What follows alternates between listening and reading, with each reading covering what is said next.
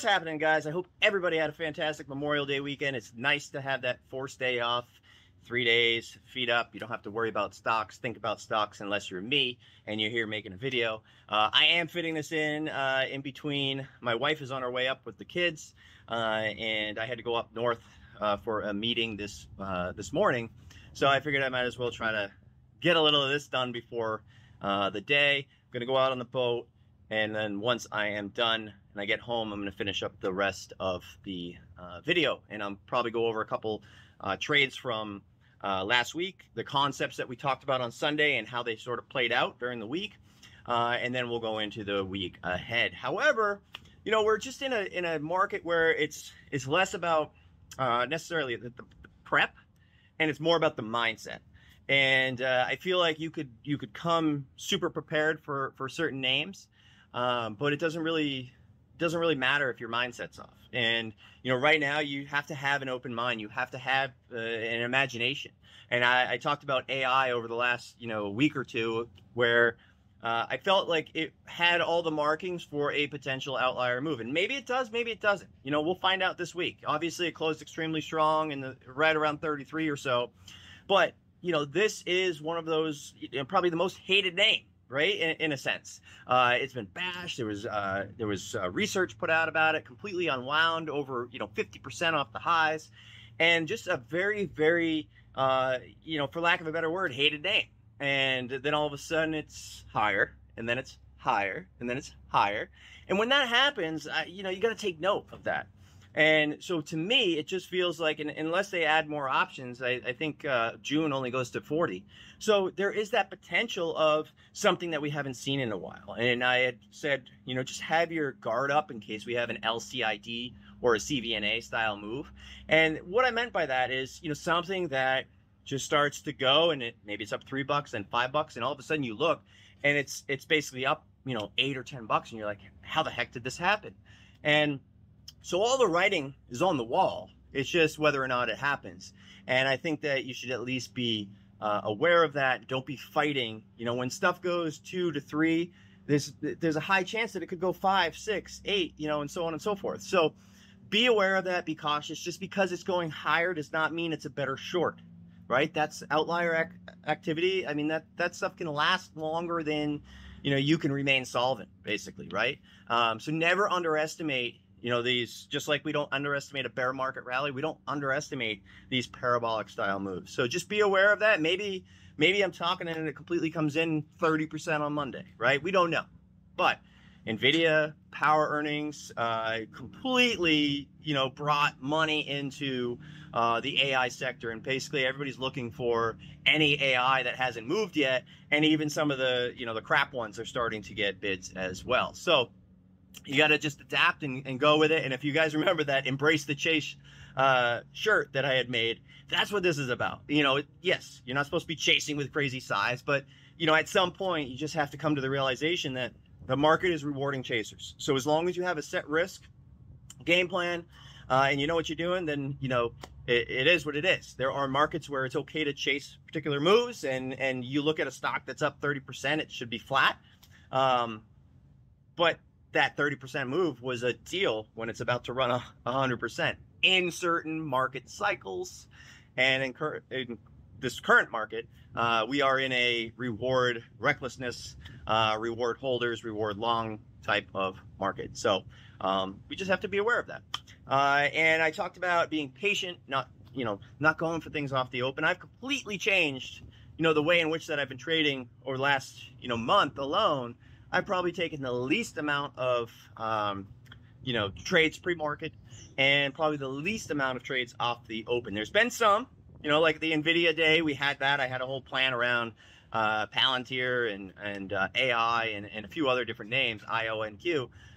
And that was all a result of the NVIDIA move. But, you know, as far as, as, you know, pushing buttons, I'm trying to get to the desk as late as possible. I don't want to be involved pre-market because, you know, there's no real upside. Um, you know, sometimes you get a, a, quick scalp, and yeah, sure, maybe it's it's a, a good um, quick buck.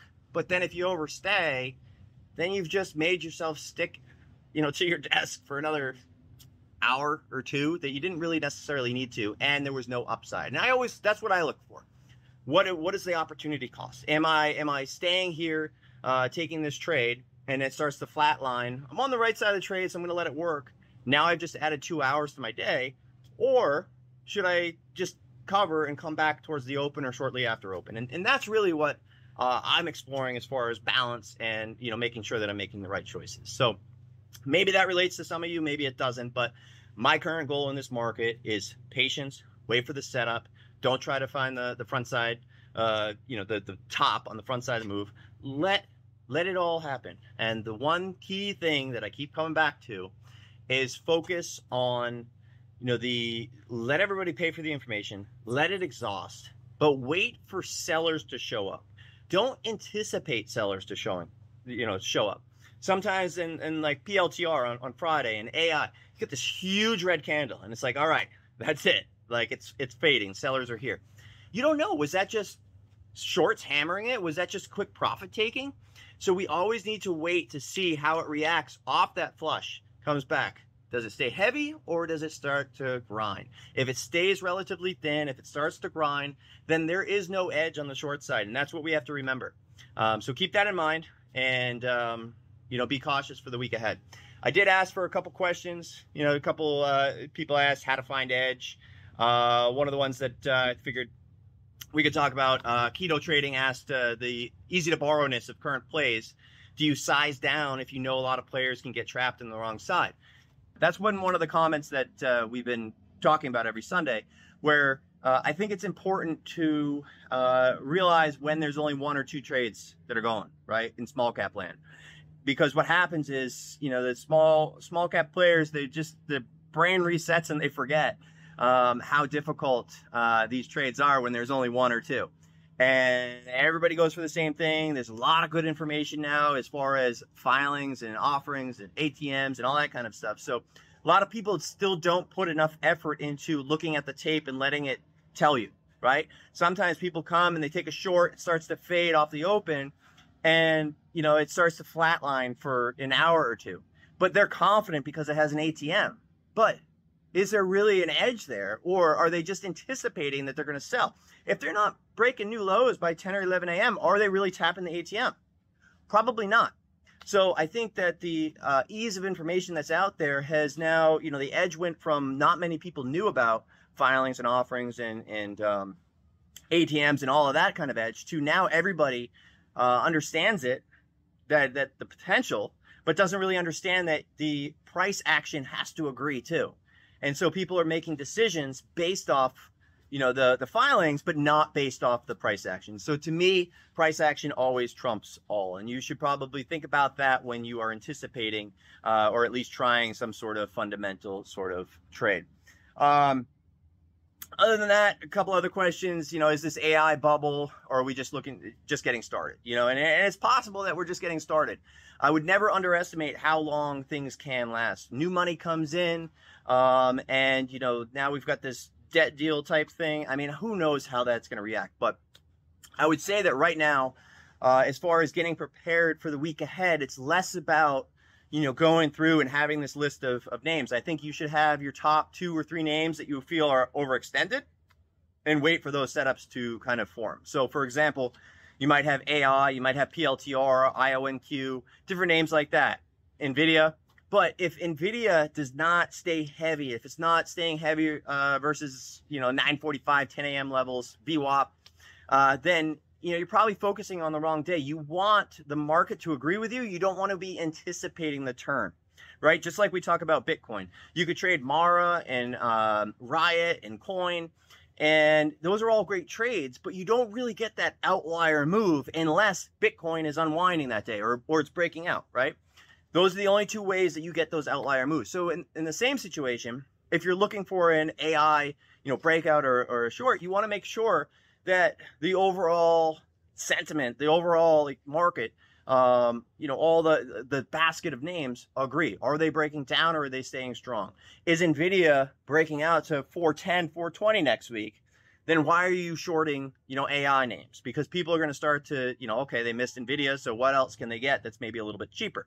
they're going to focus on the next one, next one, next one, and then that brings that, you know, just like when COVID happened, everybody came into all the uh, the COVID style names, any of the virus type names. Uh, I don't even know VXRT back then, NVIV, mRNA. I mean, you name it. Anybody that could do test, they had PRs that came out, right? So now we're going to have everybody coming out with PRs on on AI, and who knows what it even means. Um, it could just mean that they added a widget on their website, but people don't care. And the the crappier it is, the more people they know. the funny part about small caps is the crappier it is, crappier the PR, the more they rehash, people know it's junk. So then they hammer it, but there's so many people that believe it ends up going because smart money shorted, dumb money bought, no offense. They're actually the smart ones here. and then you know there's no inventory, so shorts get squeezed. And so that was sort of what created the GME and the you know all these AMC type. You have literally a, a, a near bankrupt name. It makes zero sense to get long, but it's a supply and demand issue. And if there's too much supply from shorts, not sellers, and that's the point here. You want the supply to come from sellers. And when things are holding past 10, 11 a.m., and like the, the question was, you know, the easy to borrowness. You know, if there's only one or two trades and it's very easy to borrow, very cheap to borrow, then that's when I want to have my guard up and I want to be patient. So again, in this market, I've been extremely focused on uh, just really uh, being patient off the open, not pushing buttons pre-market, and just looking at a more macro perspective instead of you know just having you know a little microscope and looking at like all these little moves like i talk about with with people that sometimes have a, a, it almost looks like an exit before their entry, right? Think about, you know, what am I looking at here? What what's the big picture trade here? And again, like I was uh, kind of referring to or earlier, you want to you want to make sure that you can feel comfortable getting off desk for a minute. And if you don't, maybe there's not enough edge or maybe you have too much size. And that's something very simple that you can kind of explore. And you know, I know myself too. It's like I I just feel better you know, on, on a day to day basis, if I can get off the, the desk at any time and not really worry about, you know, is it going to swipe into a circuit halt and I'm screwed or not? And if it can, then I want to size down or or maybe I want to get out of that that trade altogether and just wait for a, a better setup. So these are little simple things that you have to listen to yourself. And we talk about these things during the day. Sometimes I see people in the traders uh, lounge uh, talking about, well, hey, maybe it's this time. I'm, I'm going to try it again just in case it, this is the time. But listen to you know what you're saying. Listen to you know how you feel about uh, these particular you know setups. And a lot of times you can learn a lot about yourself, and and you hear these triggers that actually mean, hey, you have no edge. Get out, right? You can always get right back in. And for whatever reason, people are afraid to pay that commission, or I mean, some commissions even free now but for whatever reason, they'd rather stop out or lose than just get out and get back in a, a little bit later. So let me just see if there's any other questions that I want to go over. Uh, have you seen that typically trading around a core position tends to be more successful compared to taking one or two entries uh, to enter full size position and allowing it to play out? You know, that's it depends on your personality. You know, for me personally, I need action. Uh, you know, not not that I I have to push a button, but if I'm trading something, I'd like to get a, a, a, you know be aggressive in it if I can. And so sometimes that that means I'm scaling in, and if it doesn't flush immediately, then I'm gonna go back to my core. Then as it sets up again and it looks like it's about to flush, I want to scale in, and if it doesn't, I'll size back down. If it flushes, I'll size back down. But I'm trying to you know leverage based off this already good trade that I have, and you know seeing a setup form again. So if I can do that and I can scale into that trade, I'm going to turn what maybe was, you know, a thousand dollar risk into a 10, 20, 30,000 dollar winner, you know, off that same risk because I'm scaling in and out, in and out with the house's money. That's always my goal. So yes, there's definitely some traders that may do a lot better with one or two entries. Uh, it just depends on what fits your own personality and no right way, uh, no, no one way is the right way. It just has to fit with, with you. And, um, you know, for me, you know, I'm there during the day and I like to kind of be in the action and get good feel for things and, and kind of get the reads that I do. So, um, could I get that same, you know, read and that same feel doing one or two entries? Maybe, maybe not. Uh, but I feel like being in there and kind of seeing, you know, sometimes when I'm trying to get a cover and, you know, I, I get a little bit and then it jumps up and a little bit and then it jumps up and it's always kind of outbidding me. That to me is a sign that, hey, maybe this is not a short, it's a long. So being in that tape and getting that feel, you know, sometimes is, you know, what it's all about. And um, again, that could be, uh, that could be beneficial for some, or it could, you know, you could turn into a super choppy trader and it's not good for you. So every personality is different. You just have to find out what works for, for you. Um, but other than that, uh, we're going to go ahead and get right into Sunday video and uh, at least give you a, um, a, glimpse as to what I'm looking at for the week ahead. Uh, it is not one of those markets I feel like where you have to get super prepared. I'm not saying that you shouldn't be prepared, but just I feel like it's less about the what stocks am I going to trade and more about like where are we at in this cycle and, and how crazy is it potentially going to get. And so we had the debt ceiling, uh, you know, we had the, the, the headline last night. Uh, I'm recording this on Sunday, so Saturday night. Um, and then we also have, you know, this whole AI revolution. Everybody gets excited. So there is a good chance that we have some huge gaps. So, you know, I think you should be prepared with two scenarios. You know, if we gap up, where could things open up to? And then you have one potential trade. If we gap down and we stop going down, it starts to get absorbed for red to green, where would you get long and where would you risk towards? So I think that's more powerful in this market than coming in and researching a bunch of different trades uh, to potentially trade. Price alerts has been key for me. I typically draw a line every time a stock goes up and comes back, dips and rips, I draw a line. And the reason I do that is because it reminds me visually, don't screw around with it. Just wait. Just wait for this level to break. If it never breaks, that means that it's just shorts and sellers all, you know, go, going ahead and, and taking some off the table, but no real seller has showed up that's going to change the trend and, and stay there. So um, I think that's very important.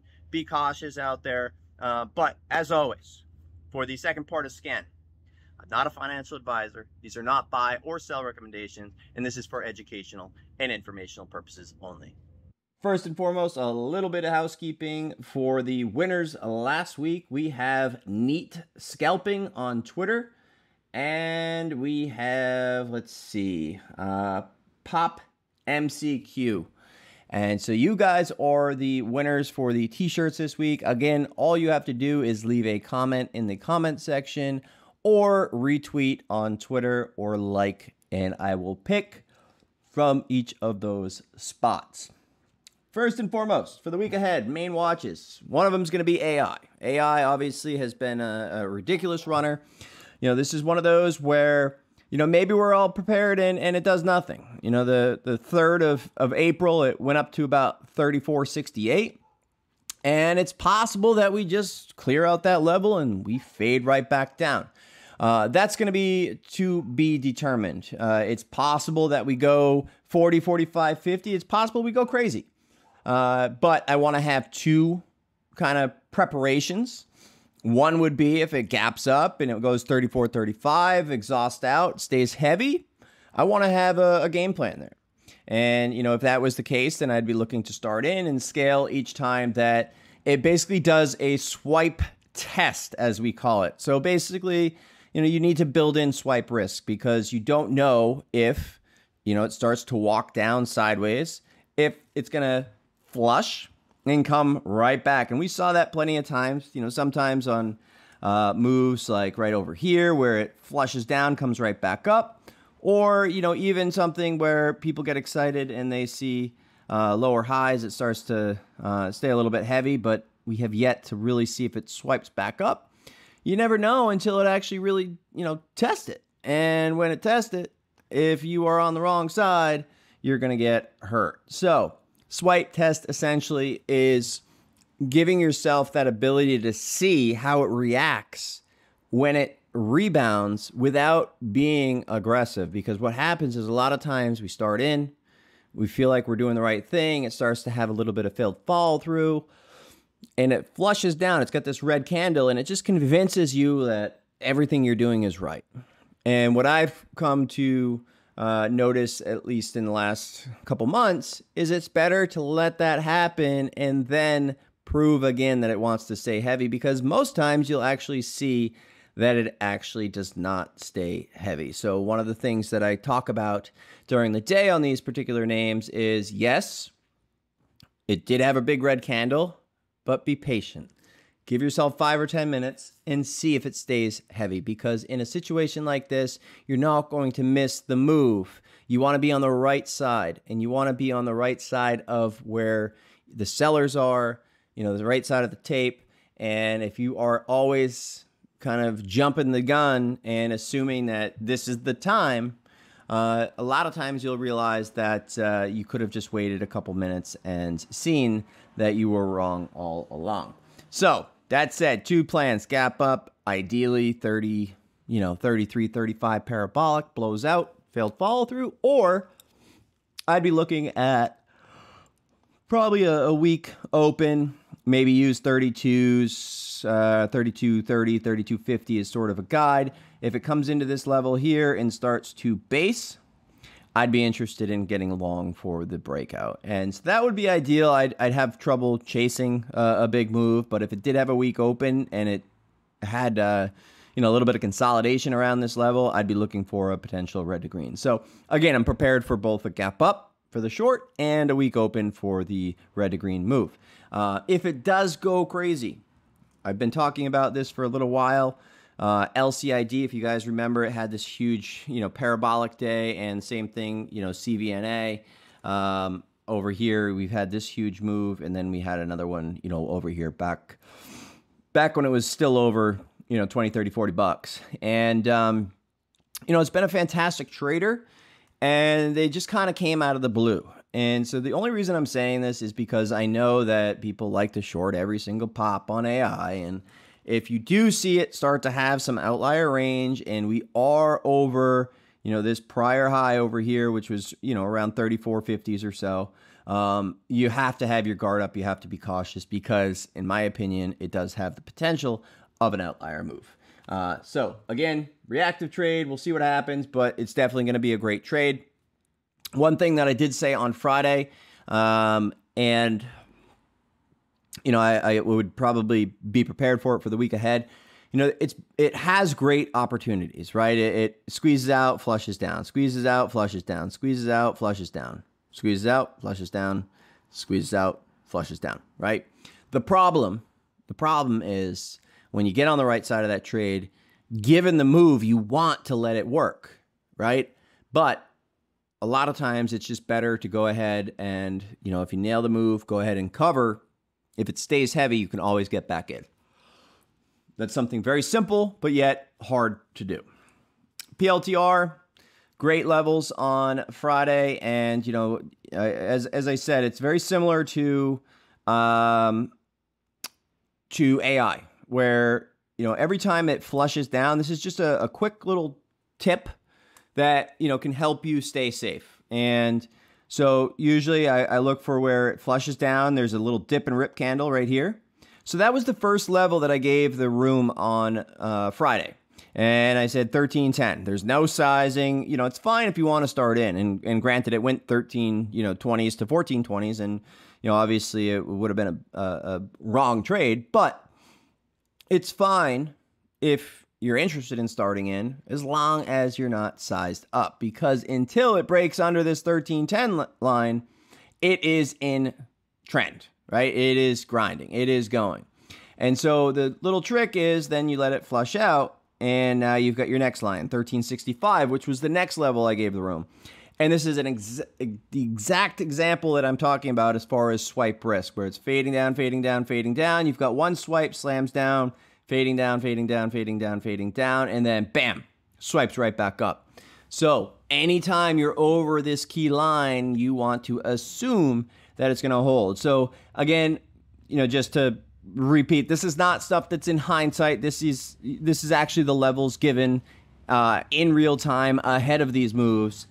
And you know, there was a lot of people that were interested in the short over here, and I reminded everybody that you know 1365s is clearly a key uh, level. So the next time you know it starts to go, I start to look left, and I start to kind of look for uh, where you know this could potentially have failed follow through uh, momentum. So the goal ended up being basically a 14 to 1420, uh, you know, parabolic kind of move for failed fall through momentum back towards this line right here. So that's what we uh, were looking for in the room.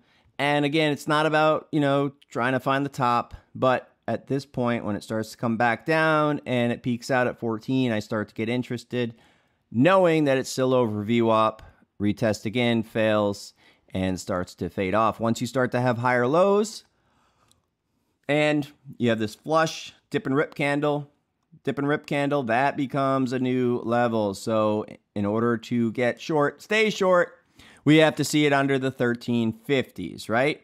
And so that is exactly the level that we talked about in the room. So uh, again, this is just to kind of showcase what I'm looking for during the day.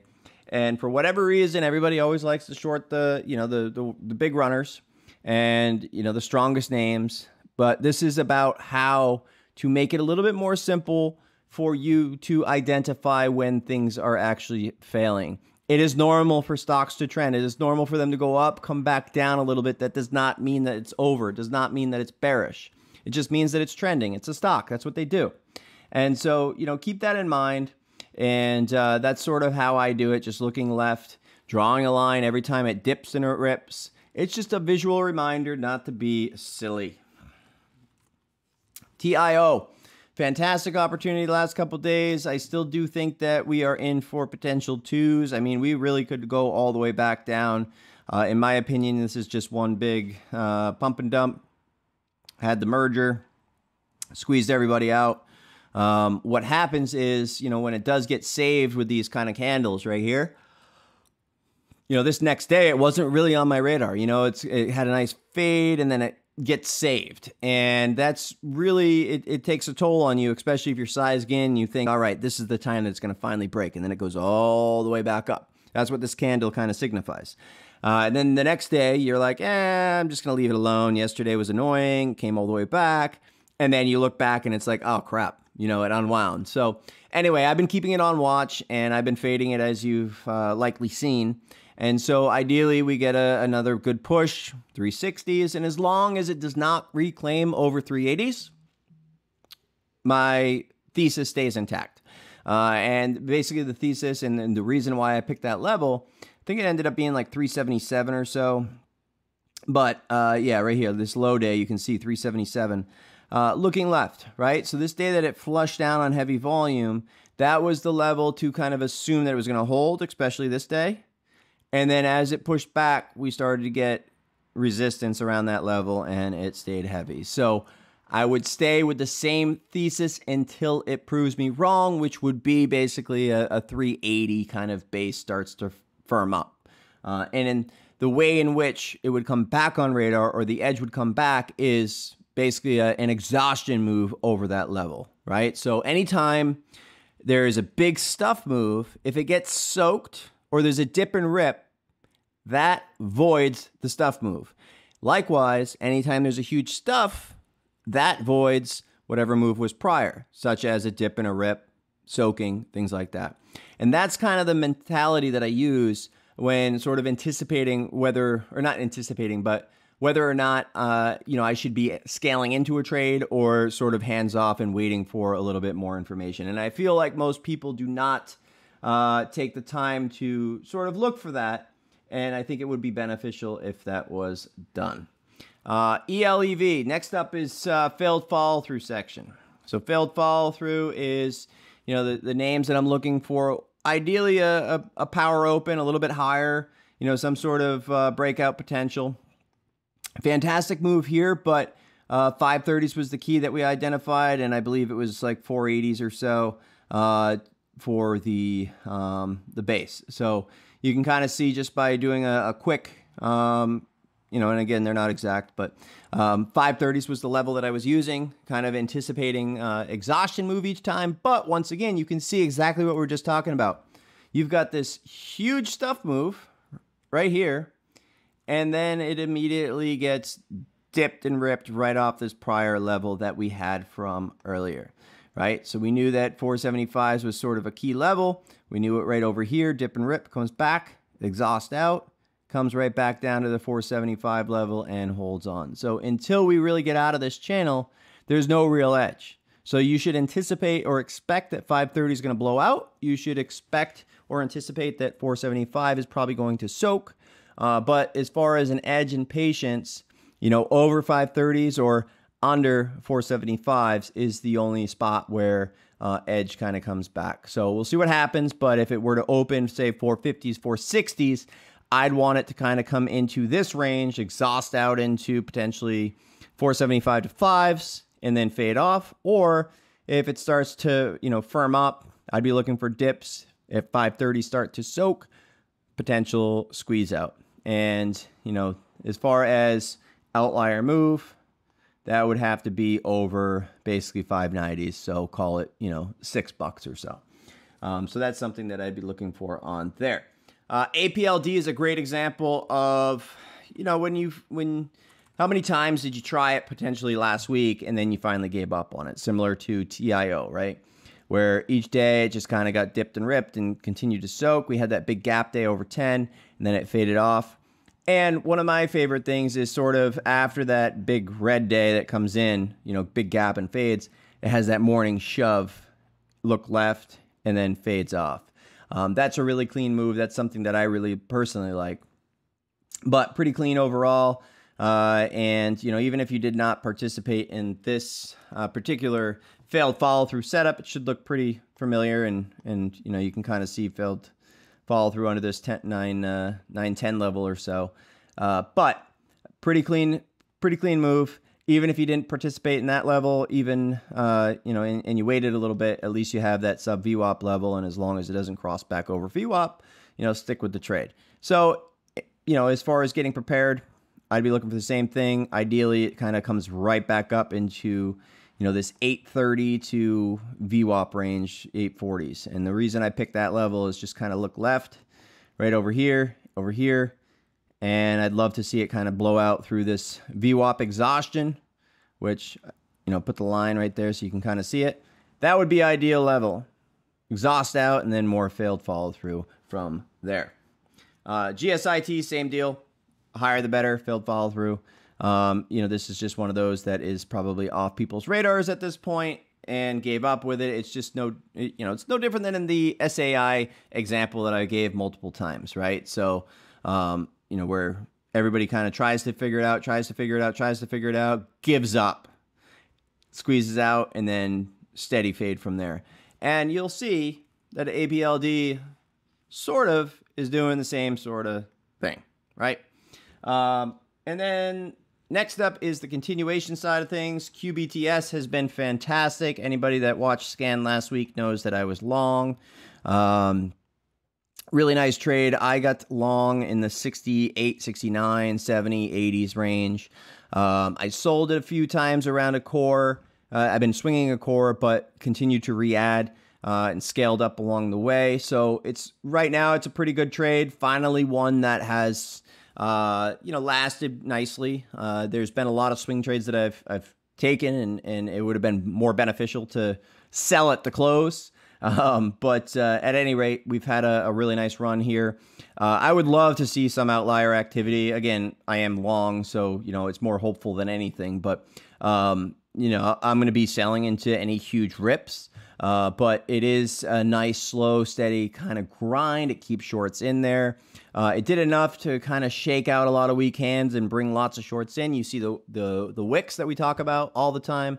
And so that is definitely something that I am interested um, and and potentially still even scaling more if it, if it does set up. You know, I'd love to scale, scale, scale for some sort of squeeze, circuit halts, whatever, and then you know sell those and then ride around a, a core from from there. But again, if it proves what I'm saying wrong and it stays heavy and it fails to, to follow through, then I am not going to overstay. So you could be as bulled up as you want and think that it could go to the moon. But if the tape suggests that, you know, what I'm thinking is wrong, then I need to respect the tape.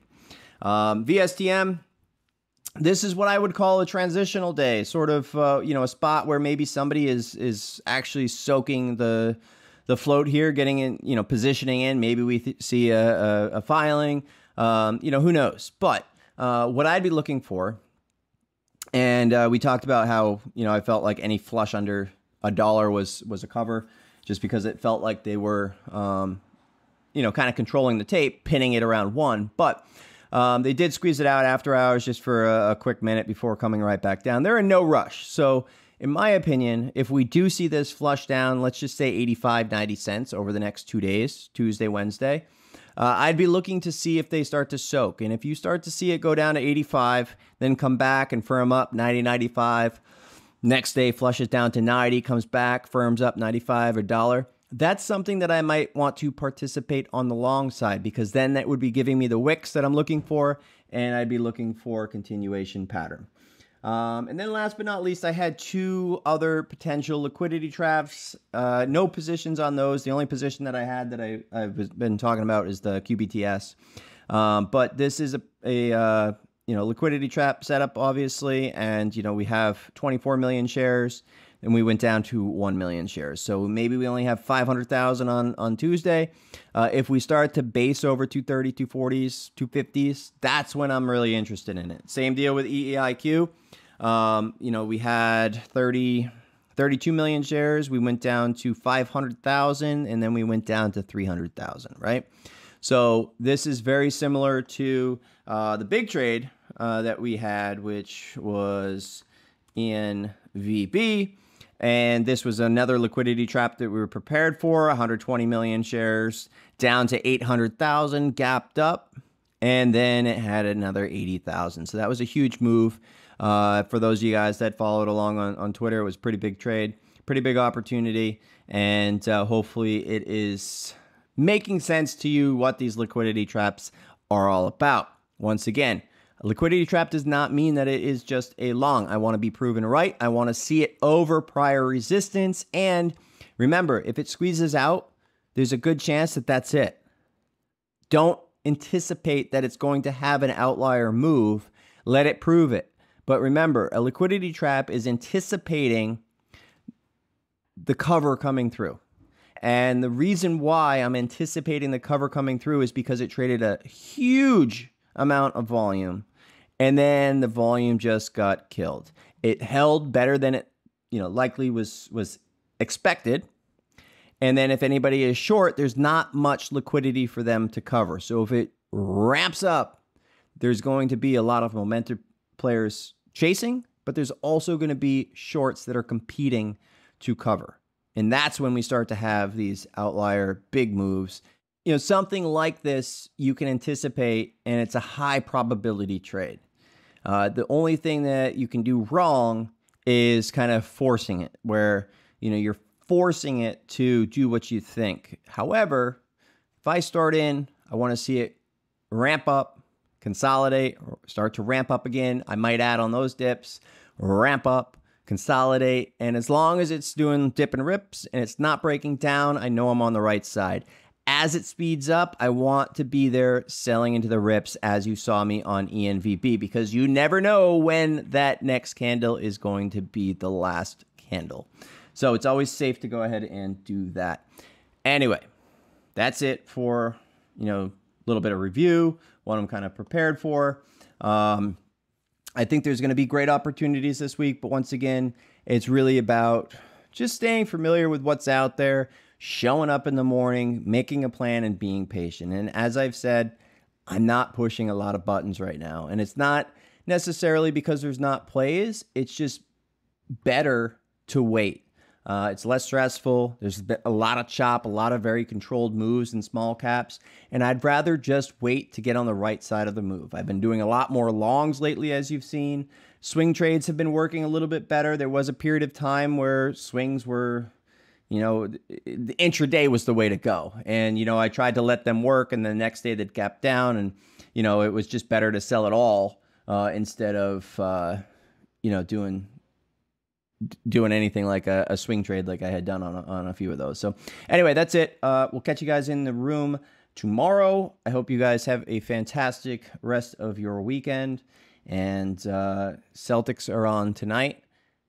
Unbelievable game uh, on uh, what was that? Friday night, Saturday night, Saturday night. Uh, for those of you guys that watched, where it went down to like the last couple seconds and uh, the lead changed multiple times. Uh, pretty crazy if you're a Boston fan. All right, catch you guys in the room.